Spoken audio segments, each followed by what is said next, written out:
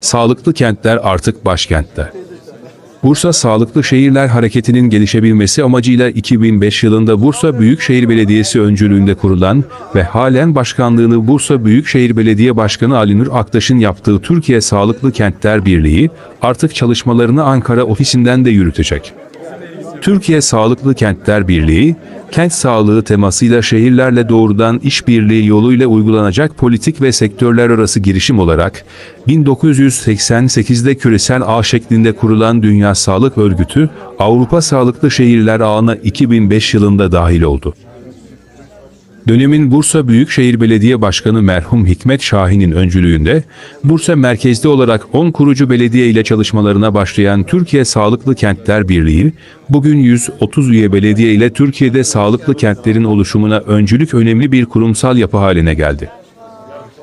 Bugüne kadar çalışmalarını Bursa merkezli olarak yürüten ve halen başkanlığını Bursa Büyükşehir Belediye Başkanı Ali Nur Aktaş'ın yaptığı Türkiye Sağlıklı Kentler Birliği, artık çalışmalarını Ankara merkezli olarak yürütecek.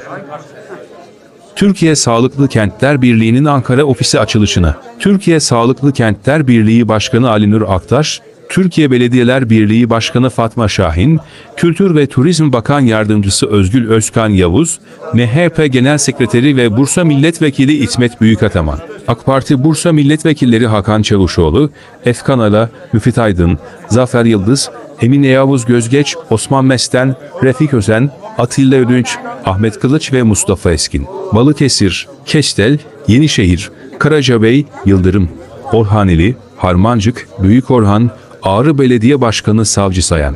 Ürgüp Sandıklı, Trabzon, Darende, Çankırı, Şırnak, Artuklu Belediye Başkanı Mehmet Tatlıdede, Kars Digor Belediye Başkanı Nebi Kelenciler ve diğer belediye başkanları, AK Parti Bursa İl Başkanı Davut Gürkan ve Ankara'daki Bursalı bürokratların katıldığı törende yapıldı.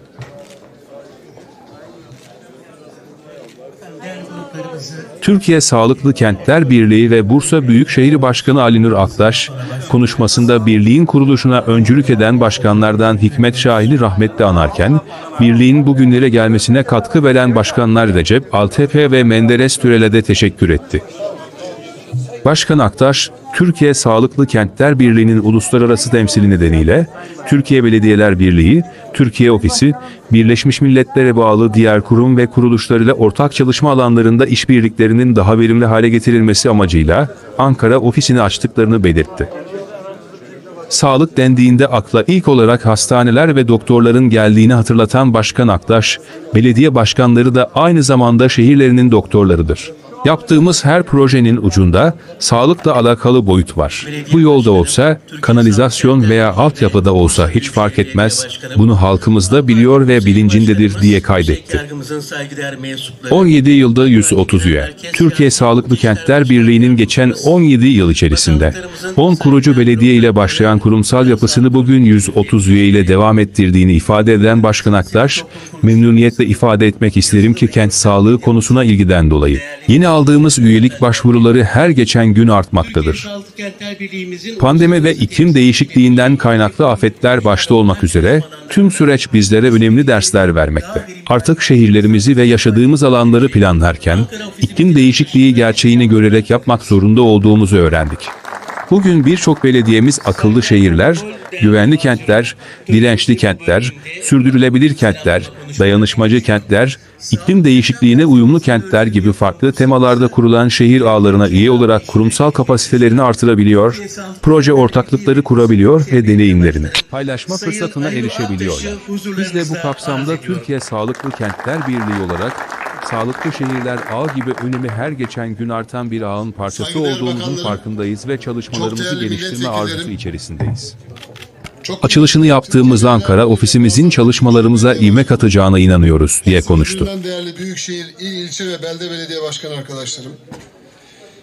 Dünya Sağlık Örgütü Türkiye Ofis temsilcimiz, çok değerli üye belediye başkan arkadaşlarım, üye belediyelerimizin temsilcileri, bürokratlarımız, dernek başkanlarımız, çok kıymetli Ankara'daki yönetici arkadaşlarımız ve basınımızın değerli çalışanları. Öncelikle hepinizi en kalbi duygularımla selamlıyorum. Hoş geldiniz, sefalar getirdiniz. Bu hafta sonu Cumhuriyetimizin ilanının 99. yıl dönümünü milletçe büyük bir gurur ve coşku içinde kutlayacağız.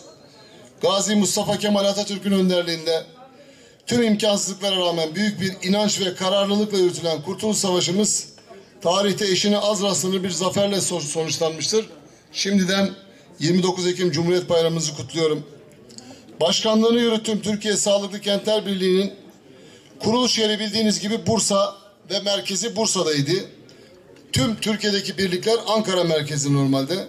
Uluslararası temsiliyeti sebebiyle bakanlıklar, Türkiye Belediyeler Birliği, Dünya Sağlık Örgütü Türkiye Ofisi, Birleşmiş Milletler'e bağlı diğer kurum ve kuruluşlar ile ortak çalışma alanlarında işbirliklerinin daha verimli hale getirilmesi amacıyla Ankara merkezi açacağımız ofisimizin açılışı için bir aradayız. Ben bu yüzden hepinize ayrı ayrı teşekkür ediyorum. Değerli katılımcılar, Sağlıklı Şehirler Hareketi kentlerin sağlık göstergelerini belirlemek ve bu göstergeleri olumsuz etkileyen faktörlere çözüm üretmek amacıyla Dünya Sağlık Örgütü tarafından 30 yılı aşkın bir süre önce başlatılan bir projedir. Kent sağlığı temasıyla küresel bir ağ olarak kullanılan Dünya Sağlık Örgütü Avrupa Sağlıklı Şehirler Ağı, şehirlerle doğrudan işbirliği yoluyla uygulanacak politik ve sektörler arası bir girişim olarak 1988'de başlatılmıştır. Sağlık deyince bizim aklımıza hep hastaneler, doktorlar geliyor ama belediye başkanları aynı zamanda şehirlerinin doktorlarıdır. Yaptığımız her projenin ucunda sağlıkla alakalı bir boyut var. Bu yol da olsa, kanalizasyon da olsa, altyapı da olsa, başka bir konu da olsa. Tabii Sağlıklı Şehirler Hareketi'nin ülkemize gelişebilmesi, benimsenmesi, uygulanabilmesi amacıyla 2005 yılında bir kez daha rahmetli andığımız Bursa Büyükşehir Belediye Başkanlarımızdan Hikmet Şahin öncülüğünde kurulan Türkiye Sağlıklı Kentler Birliği geçtiğimiz 17 yıl içerisinde 10 kurucu belediye ile başlayan kurumsal yapısını bugün 130 üyeye çıkarmış, genel sekreterlik olmuş ve şu an üye olmayı bekleyen belediyelerimiz de var. Ben bu vesileyle rahmet Hikmet Başkan'dan sonra birliğimize başkanlık yapan Recep Altepe Başkanımıza, Bursa Büyükşehir Belediye Başkanı ve Antalya Büyükşehir Belediye Başkanımız Sayın Mehmet Menderes Sürel'e de yürekten teşekkür ediyorum. Tabii memnuniyetle ifade etmek isterim ki kent sağlığı konusuna artan ilgiden dolayı yeni aldığımız üyelik başvuruları her gün geçen gün artmakta. Covid-19 bize gerçekten sağlığın ne kadar önemli ve kıymetli olduğunu gösterdi. Küresel salgınla beraber artık hayatımızın bir başka gerçeği de yaşadığımız iklim değişikliğinden kaynaklanan afetler oldu.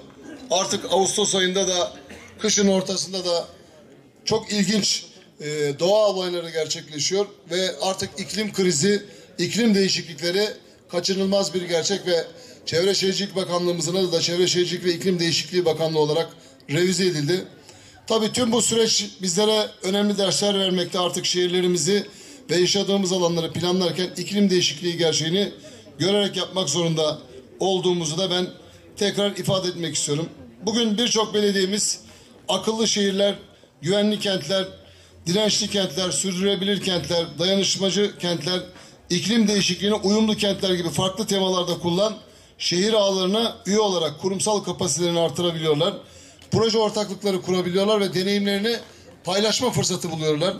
Biz de bu kapsamda Türkiye Sağlıklı Kentler Birliği olarak Dünya Sağlık Örgütü, Sağlıklı Şehirler Ağı gibi önemli her geçen gün artan bir ağın parçası olduğumuzun farkındayız ve çalışmalarımızı bu mekanda daha da geliştirmenin arzusu niyeti içerisindeyiz. Dünya Sağlık e, Örgütü Avrupa Sağlıklı Şehirler Ağı çalışmaları belirlenen temalar çerçevesinde beşer yıllık fazlarla yürütülmekte ve 2019 yılında başlatılan ve 2025'te tamamlanması planlanan 7. faz uygulama çerçevesi için bir rehber hazırlandı ve üyelik başvurusunda bulunmak isteyen ulusal ağlar ile şehirlerin, belediyelerin gerçekleştirmeleri gereken kriterler belirlendi.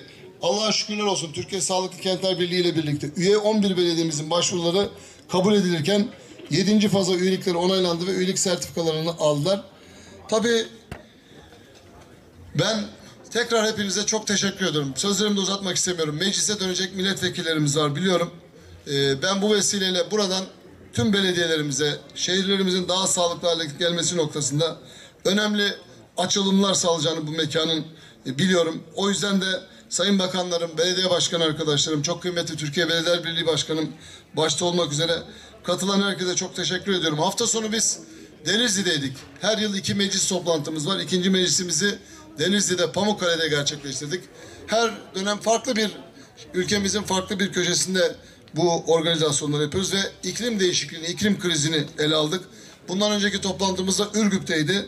Dolayısıyla ben belediyelerimizin çok ciddi istifade ettiklerini biliyorum ve o noktada e, yine üye belediyelerimiz arasında yaptığımız yarışmaya bu yıl en fazla katılım oldu ve 18 proje siyasi parti farkı gözetmeksizin ödüle layık görüldü. Ben ödül alan arkadaşlarımıza tekrar tebrik ediyorum. Şehirlerimizin yaşamlarını sürdürebilmek için sağlıklı olmayı Yeni nesil belediyecilik.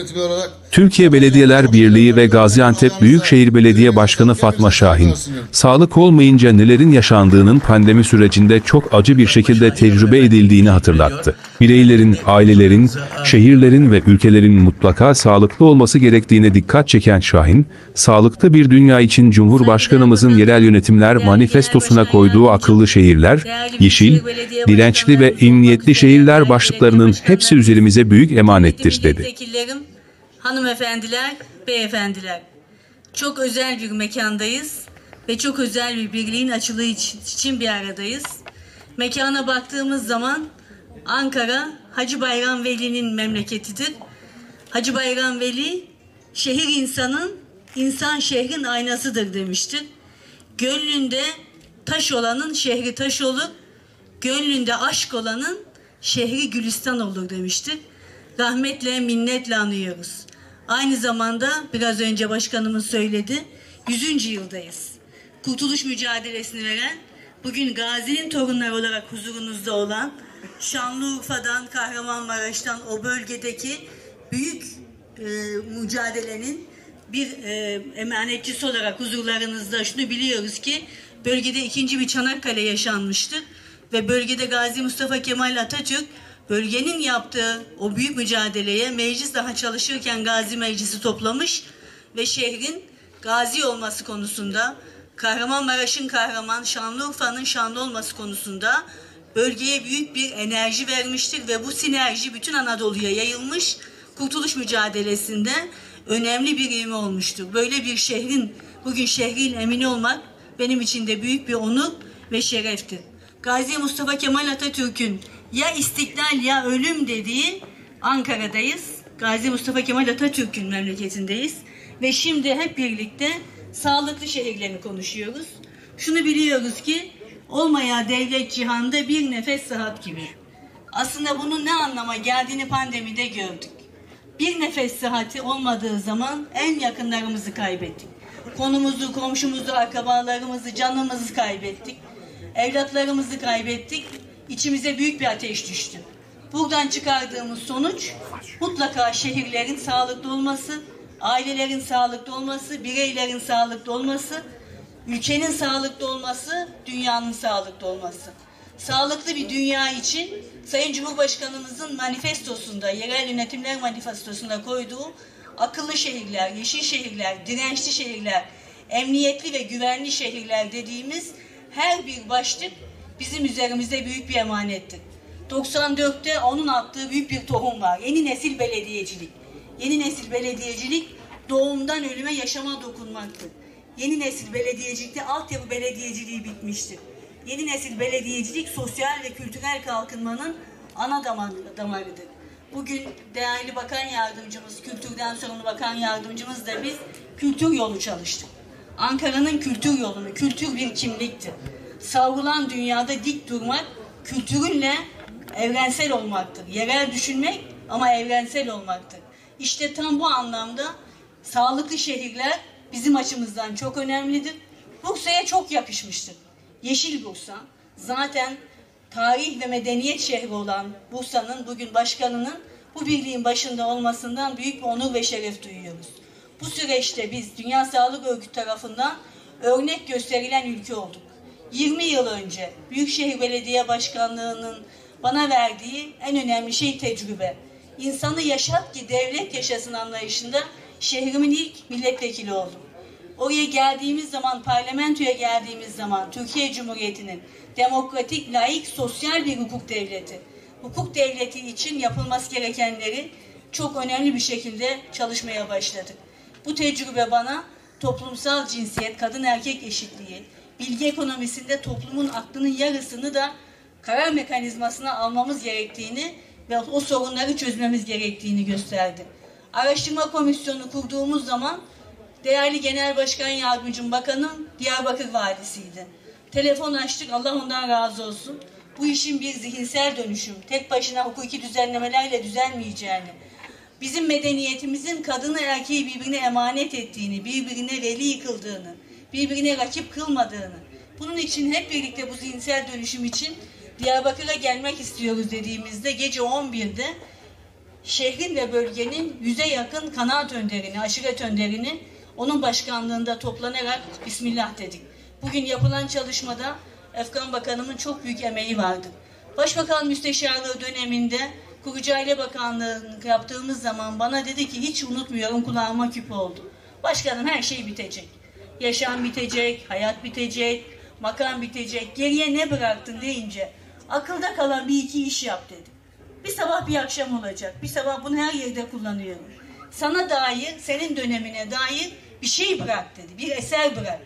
O yüzden birlikte çok e, önemli çalışmaları yaptığımız, hakikaten Cumhurbaşkanımızın liderliğinde o dönem yaptığımız çalışmalar geriye baktığımız zaman toplumda, toplumun yaşam kalitesinde dualar bıraktığımız bir dönem oldu. 2014 yılında Büyükşehir Belediye Başkanı olduğumuz zaman dibimizde koca bir ateş, ateş yanıyor. Bir taraftan güvenli liman olacaksın, 500 bin mülteci bir gece e, içerisinde şehrine gelecek. Ben bunu Cenevre dedim, bir düşünün şehrinin yer iki katı nüfus bir gecede şehrinize geliyor. Düşünemeyiz dediler. Ben şunu söylüyorum 10 yıldan beri kardeşlik hukukuyla, ırkçılığı artırmadan, sevgili peygamberimizin veda hutbesinde bize bıraktığı mirasın, acemin acem olmayana üstünlüğü yoktur. Üstünlük takvadadır. Takva iyi insan olmaktır. İnsana ve insanlığa örnek olmaktır dediği 1400 yıl önceki medeniyet kodlarımızın bugün artık dünyaya şifa olduğunu görüyoruz. 100 yıllık cumhuriyet tecrübemiz, 1400 yıllık medeniyet kodlarımızı koyduğumuz zaman dünyanın vicdana, merhamete, rahmete, şefkate, sağlığa ihtiyacı var. Sağlık dediğiniz tek başına bedensel sağlık değil. Ruh sağlığına, kalp sağlığına, beyin sağlığına ihtiyacı var. Bu sağlıklı yaşam noktasında kıymetli başkanımın yaptığı çalışmaları yakinen takip ediyoruz. Bizim her birimizin akıllı şehir olurken, yeşil şehir olurken mutlaka sağlıklı şehir olmamız, sağlıklı şehir sonunda da mutlu şehir olmamız gerekiyor.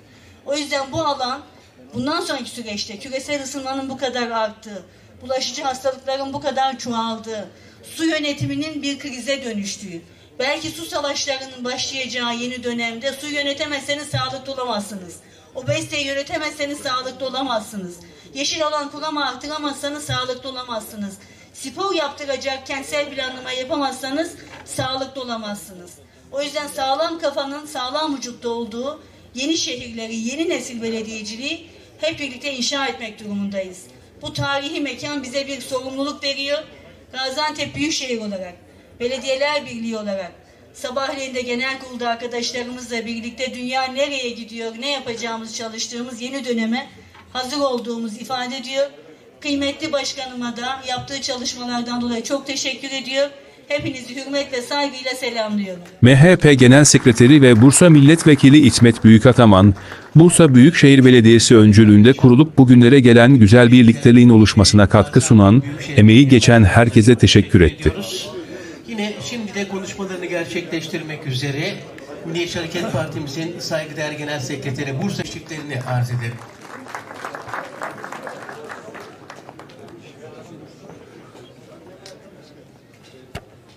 Çok muhterem Hazirum. Hepinizi saygı ve hürmetlerimle selamlıyorum. Bugün bu açılışta sizlerle birlikte olmaktan duyduğum memnuniyeti özellikle ifade etmek istiyorum. Bursa Büyükşehir Belediye Başkanlığımızın öncülüğünde kurulmuş ve bugünlere getirilmiş olan bu güzel birlikteliğin bugün Ankara'da hizmetin devamı konusunda daha güzel hizmetlerin ortaya konulmasına vesile olabilecek bir binanın açılışı münasebetiyle bir araya geldik. Ben fazla vaktinizi almak istemiyorum. Emeği geçen her birinize ayrı ayrı teşekkürlerimi sunuyorum. Cenab-ı Hak'tan hayırlı hizmetlere vesile olması duası ve temennisiyle bir kez daha sizleri saygı, hürmet ve muhabbetlerimle selamlıyorum. Allah'a emanet olun. Bizleri yalnız bırak. Kültür ve Turizm Bakan Yardımcısı Özgül Özkan Yavuz, sağlıklı kentlerin tüm dünyada gelişen, büyüyen ve tartışılan bir kavram olduğuna dikkat çekti.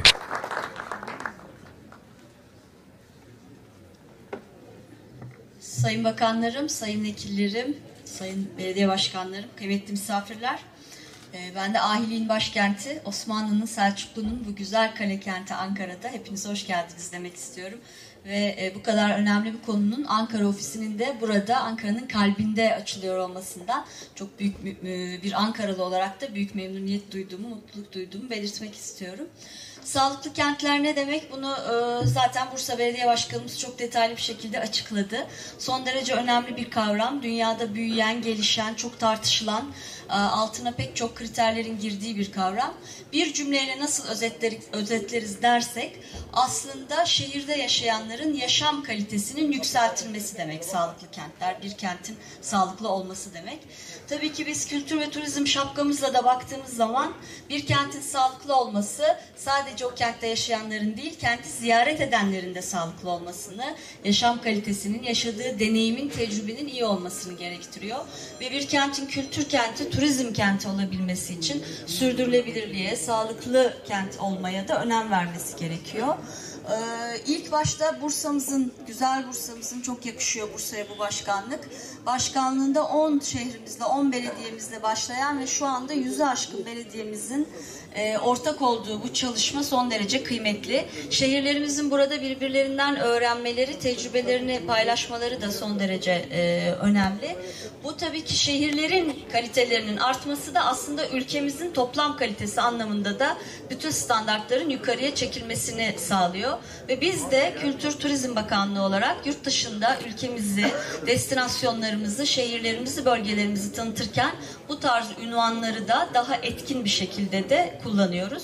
Ben sadece bir bakan yardımcısı değil, şehir ve bölge plancısı olarak bir teknik eleman olarak da dünyadaki bu tür tartışmaları takip ettiğimde gerçekten artan öneme sahip bir kavram e, olduğunu görüyorum ve belediyelerimizin e, daha artan oranda bu konuyla ilgilenmesini son derece memnuniyet verici buluyorum. Elbette ki son 20 yıl içerisinde e, hükümetlerimizin yaptığı atılımlarla e, sağlıklı kent, yeşil kent, sürdürülebilir kent, kültür kenti, turizm kenti gibi bütün alanlarda çok büyük atılımlar içerisindeyiz. Ben burada emek veren bütün belediye başkanlarımızı yürekten tebrik ediyorum. E, uluslararası standartların yakalanması anlamında yapılan çalışmalar için hepsini ayrı ayrı tebrik ediyorum. Açılan ofisimizin de hayırlı çalışmalara vesile olmasını diliyorum. Saygı sevgiyle selamlıyorum. Sağ olun.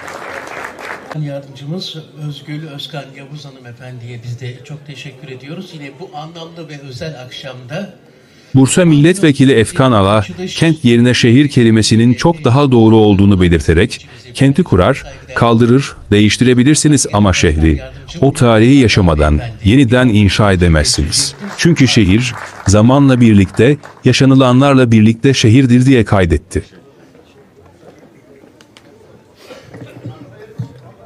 Su sesi ve kanat şakırtısından billur bir avize Bursa'da zaman.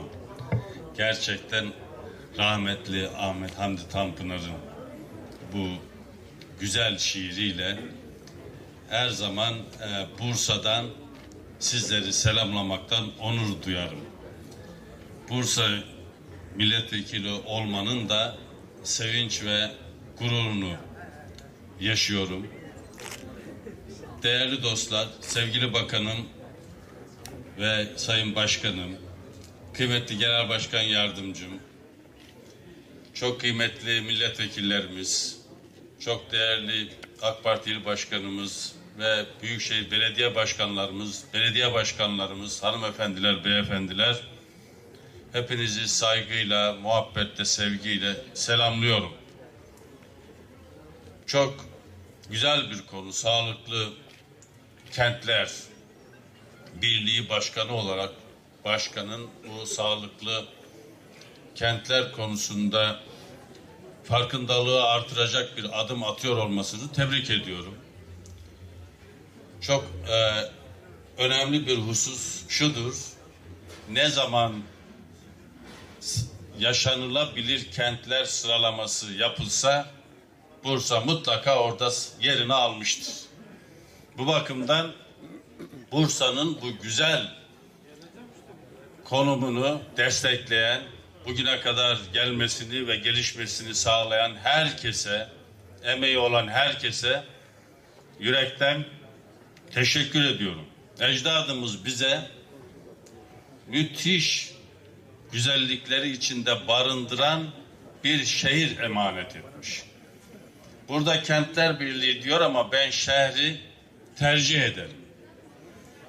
Bana göre kent kurabilirsiniz, kaldırabilirsiniz, değiştirebilirsiniz ama şehri o geçilen tarih, o tarih yaşanmadan yeniden inşa edemezsiniz.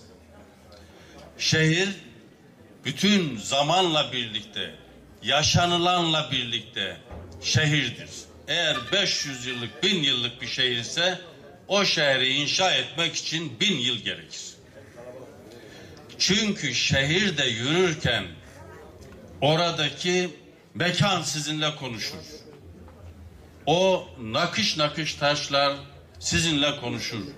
Orada emeği olan ustalara hatırlarsınız. Orada yürümüş olan tarihi şahsiyetleri hatırlarsınız. Siz o şehir bir parçası olursunuz.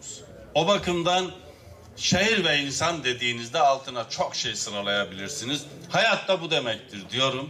Ve emeği geçen sevgili başkanı, emeği geçen herkesi bu farkındalığı artıracak biçimde burada da ofisi açan arkadaşlarımı tebrik ediyorum. Hepimize hayırlı uğurlu olsun diyorum. Allah'a emanet olun. Günün anısını aynı fotoğraf karesinde buluşmaya davet ediyorum. Buyursunlar efendim.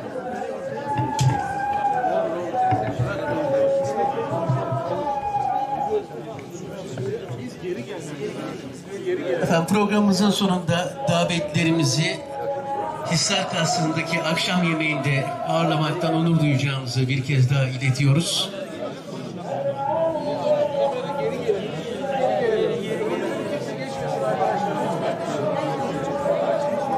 Konuşmaların ardından Türkiye Sağlıklı Kentler Birliği Ankara Ofisi kurdele kesilerek hizmete açıldı.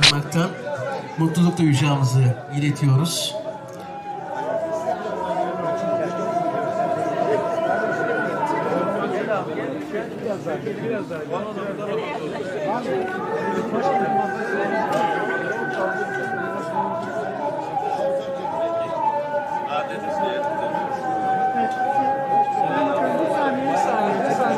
Arkadaşlar çıkar mısınız oradan? Evet. Buraya bakın. Hayırlı uğurlu olsun. Efendim buradayız. Sayın Bakan.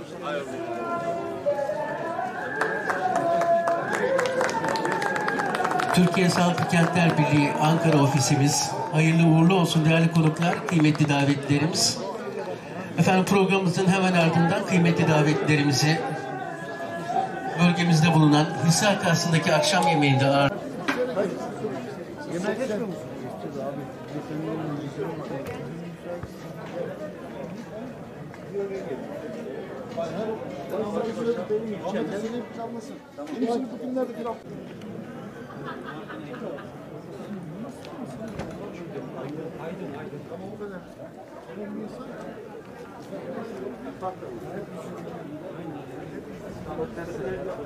Keşke gelseydim.